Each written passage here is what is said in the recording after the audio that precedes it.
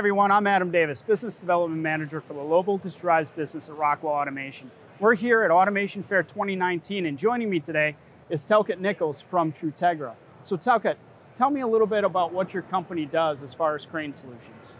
Uh, well, Trutegra provides a complete package when it comes to crane automation. Uh, we also have a 24-7 service department.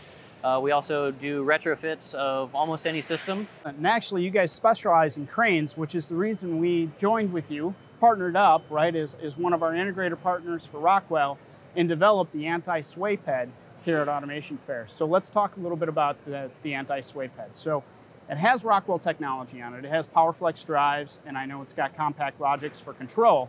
But tell us a little bit about some of the features that Trutegra added to the solution. With our crane solutions, uh, we do uh, anything from swapping out the limit switch to the whole crane. Uh, and we do uh, anti-sway, anti-collision, uh, collision avoidance, skew control, uh, and a lot more. And I think the best way for us to showcase that is actually with the PED, which allows users to race head-to-head, -head, two people, and race on this automated crane solution. What do you say? Should we race? All right, let's race. Let's race and let's go.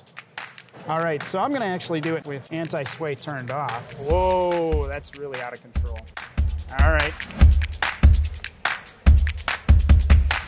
This is really difficult without anti-sway. Oh, I still can't get it in there. Come on.